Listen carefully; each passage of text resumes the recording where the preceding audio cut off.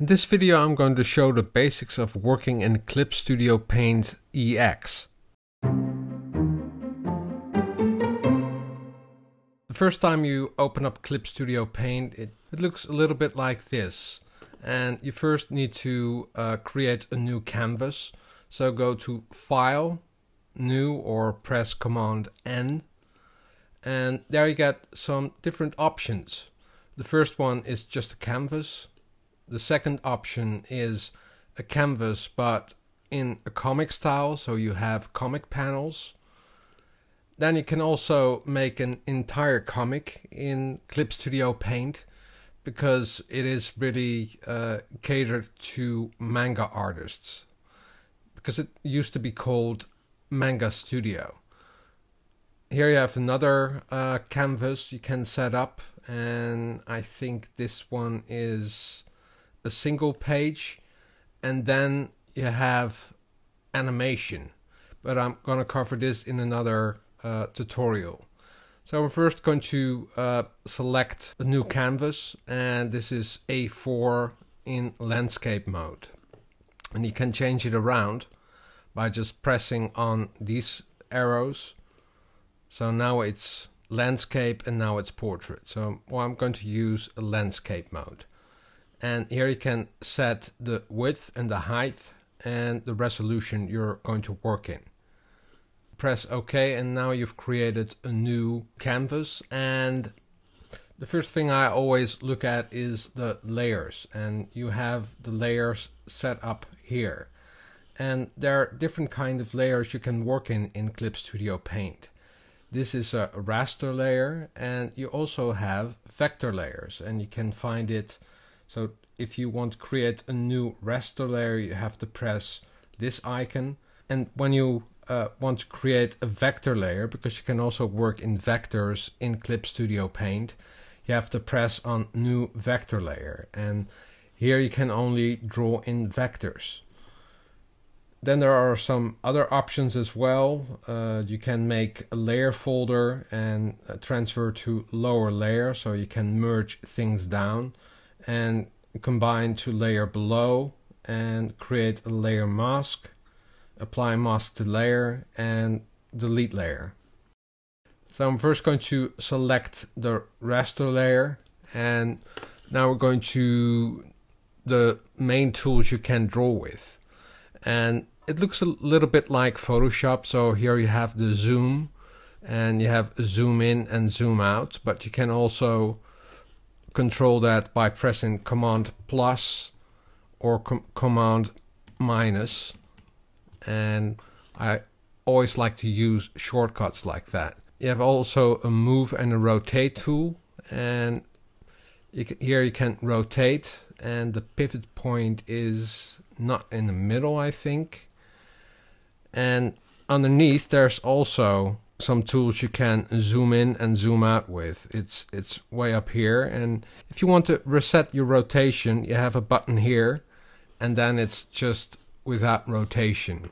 And you can of course use the hand to move your canvas around but you can also do that by pressing the spacebar and then your mouse will be uh, a draggable hand so you can move your uh, canvas around. Here's the selection tool, lasso tool, and there are different kinds of lasso tools you can select.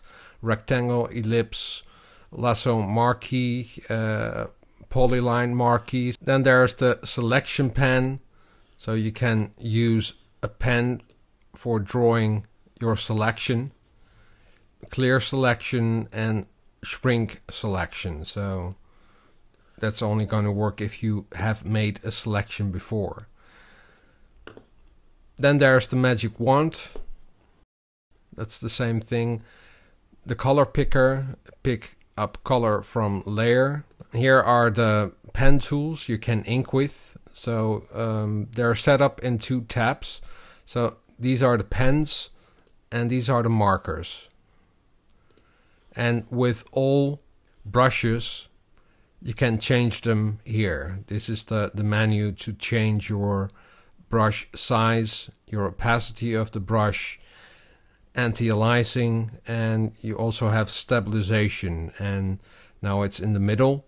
And if you want to have total stab stabilization you just press this. But then the, the software Clip Studio Paint will uh, get some lag because it needs to stabilize everything you're drawing. There's also a menu for uh, default brush sizes, but you can also change it here or you can change it here. And underneath is the color wheel. So here's the color menu. It first starts out with the color wheel, so you can select the color in the ring and all the values in the middle. Next to it is the RGB slider, so you can pick colors with RGB and just use the RGB sliders. So next to the RGB slider are the color swatches and this is the default color set but when you press here you have a lot of different options so dark tone deep tone and you can of course make your own kind of uh, swatches. But let's get back to the pencils and they're just great pencils to draw with in um, Clip Studio Paint.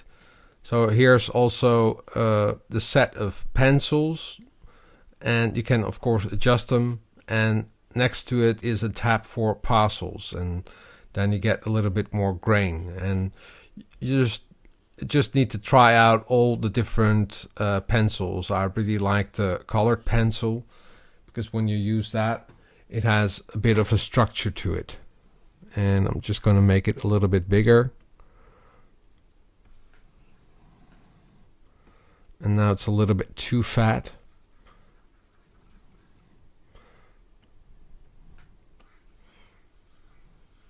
So when you press harder,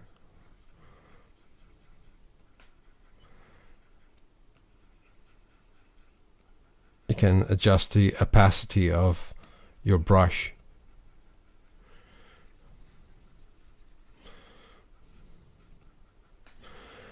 And rough pencil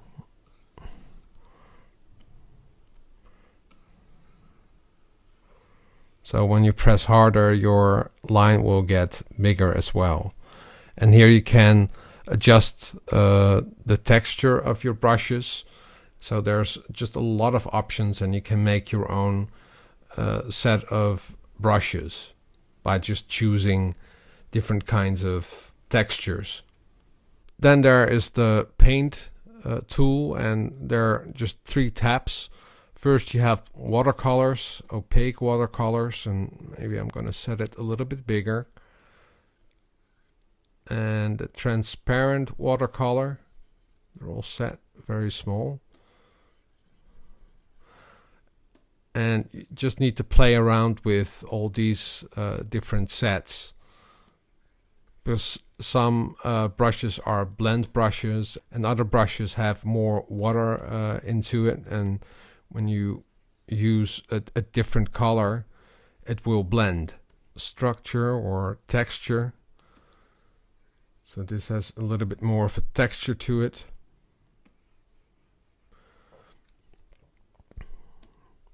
uneven layering brush. I'm not quite sure what that is doing, but you know, there's just a lot of brushes and you can adjust them uh, to your own needs. Next to it uh, on the tab is the oil paint and there are just three different kinds of oil paint. And the first one, you really need to press hard to get more paint out of it. And with the oil paint, you can also adjust the amount of paint that comes from your brush. So if you want to blend colors, just set it to zero or a lower opacity. And just going to choose a different color just to show you. So just a red color, magenta.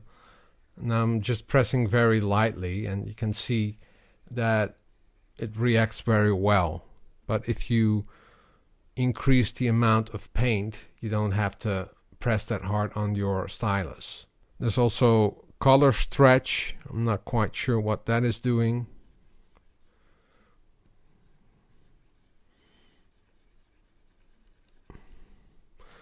There's just a lot of um, things you can change with your brushes. And this is the flat brush. And this is the color change brush.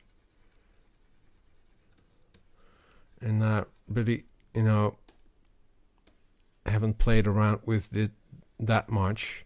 But, you know, you can't really paint very well with it. There's also an airbrush, or uh, I forgot this tab, and these are just Indian inks. And that one, I'm just going to zoom in, has a bit of a texture to it. But you can adjust all the brushes in Clip Studio Paint. This could be a very useful brush.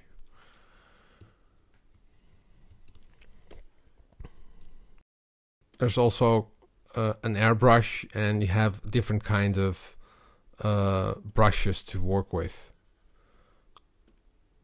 Also like these kind of brushes. Droplet. This is great for painting and uh, making some structures into your paintings. Then there's this brush and these are all effect brush. So you have uh, a selection of nature, flowers, uh, horizontal striped clouds. And I think you can make your own as well. There's just a lot of different kind of uh, brushes you can use. Musical notes. I never use these kind of things, but you know, it can be funny to use them. There's just a lot of options you can work with, and there's the the paint bucket tool, gradient tool, so you can uh, make a, a fast gradient, and here you can adjust your gradients, but they also have some uh, default gradients. So if you want to uh, have a night sky, for example, or a, midday sky, then there you have it. And here are some um, frames you can use. So if you're um, making comics, this is uh, these are some great tools you can use.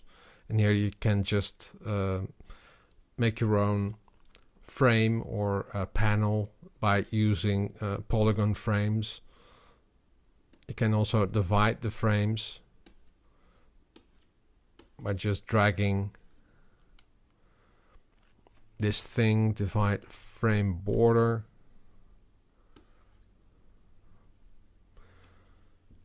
And there's also um, a text tool you can work with and because this is uh, used to be called Manga Studio. So there's just, it's very catered to making comics. So I'm just going to open a new file and do a quick drawing. So I'm first going to um, select the raster layer and by default it opens up with a raster layer to draw in. So I'm just going to select the color and just double tap on it and here you have an option for your colors and these are the Apple colors. Uh, and you can change it here as well web safe colors developer colors RGB sliders. I need a little bit of a blue because I always start drawing in uh, a blue color because uh, I used to draw on paper and I'm still using it because when you make a sketch in blue and when you uh, create a new layer, you can just uh, ink on top of it and you don't have to change the opacity of your layer. So I'm now going to uh, draw one of my old characters, uh, which is called uh, Horace Hippo. And I'm going to use the rough pencil.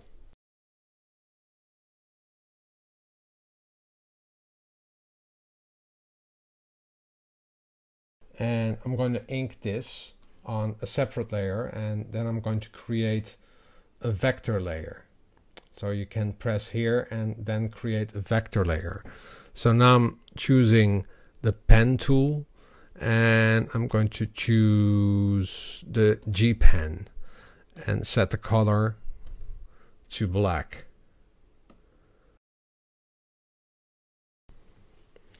So I'm going to create a new layer uh, underneath the ink layer and just use a, a raster layer and I'm going to use the watercolor brush.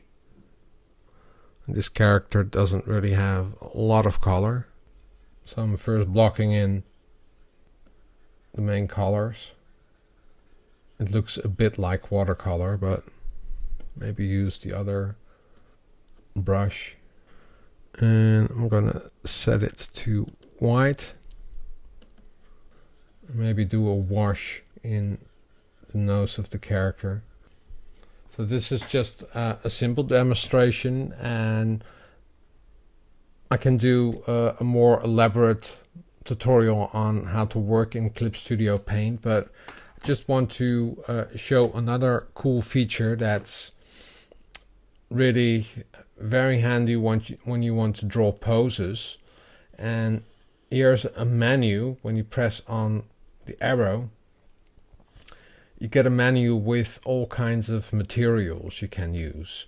And these are of course all set up for uh, making comics. So you have a lot of different uh, comics um, templates you can use but what I really liked about uh, Manga Studio and now Clip Studio Paint is that there are characters in 3D you can import into Clip Studio Paint. So if you want to draw a character in a certain pose, you can import them or you can even import hands. But let's say if you want to uh, draw a character running, you just drag it in. And now it's on top. It's on a different layer. And I'm just gonna zoom in. And what you can do with this um, image is you can uh, turn it around. So you can also you know draw on top of it or next to it. And if you have a pose and want to change it can do that by using these um, controls. And here you can change all kinds of limbs and make them look the other way. So this is just a perfect you know tool if you're doing comics or an illustration and uh, you want to uh, have a certain pose you can just turn it around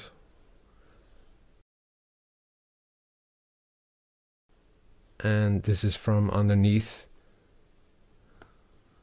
I think this is the, the, the coolest feature of Manga Studio or Clip Studio Paint.